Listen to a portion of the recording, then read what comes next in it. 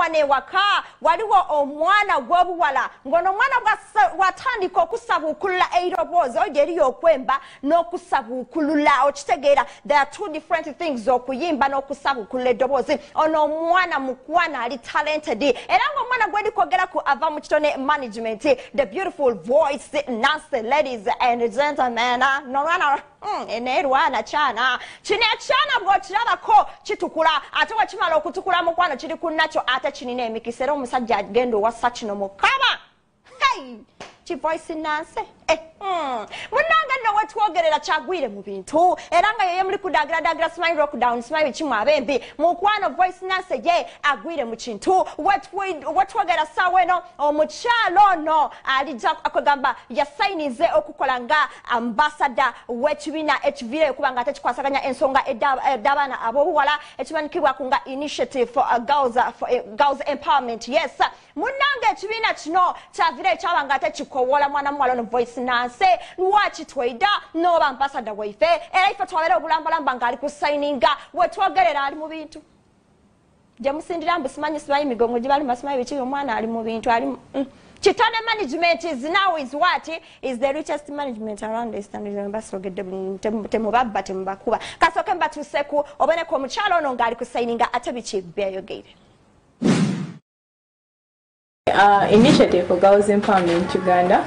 It is an organization for the girls and we work together with the girls as well as different people who are not girls.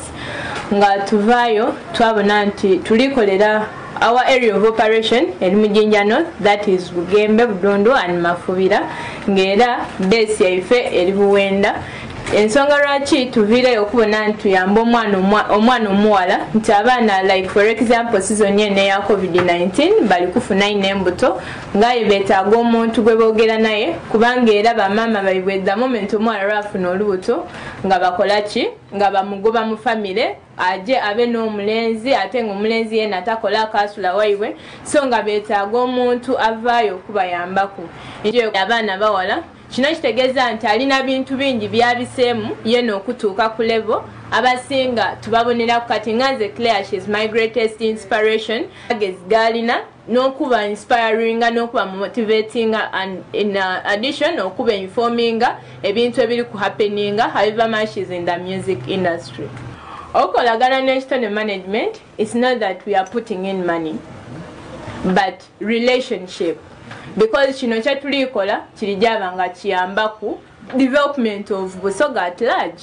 No okuyamba abaana abawala ku luyi eyo because me i was raised by a single mother so i know what it means to be a girl. Okukula tikuba you know? Nze nali kuku mutawo naye eriyo abali mu byalo. So me i feel blessed okuba nga kyenayendanga okuva mu buto leero kihapeninze ku 1st july. I'm really happy. Alononaku njawulo notinga down. Because numirwa ino okwogera n'omwana omuwala ali eyo. Ife eriyo ensobi I'm sorry to say this eriyo ensobi ife nga tukuladde twakolanga. So you don't expect oba toyenda kubona muntu wundi ng'alikola ensobi eyo yene gye wakola. So it is good wakyama n'omuwala wayogera naye. Bw'oba nga olinakuku erinda nga voice nansi leero lwaki oba toyamba muntu wa wansi? Olowooza otyo oyo ali wansi alikulingirira they are supporting you. Aye iwe what are you giving back to the community? Iwo tebweziri naye ate tugenda kukola bingi fe nabo nti tugenda bakwasizaako okulaba nti tutumbula ekitonde ekikyala oba ekitonde ekyobuwala especially mu regioni yaffe eno eyebusoga abanyo mu bavubuka n'ababuulirira ate shize kansula abalina ebizibu ababuulirira ate nga muntu ayagala ennyo beyetanira nnyo nnyo nnyo ebintu ebyemikono. Lot of things.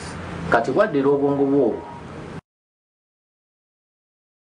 abobuwala mu regioni yaffe neyebusoga ne uganda yonna because si muyimbi wa busoga uh, voice nasi muyimbi wa uganda yona okutwaliza wano nti newoba oli masaka otulaba saawa zino ngaomanyi nti you can era voice nasi asobola okukwatako because muyimbi wammwe si muyimbi nti agenda kufa ku baana ba wano bokka because ne music we tali she's not a regional artist but she's a country white artist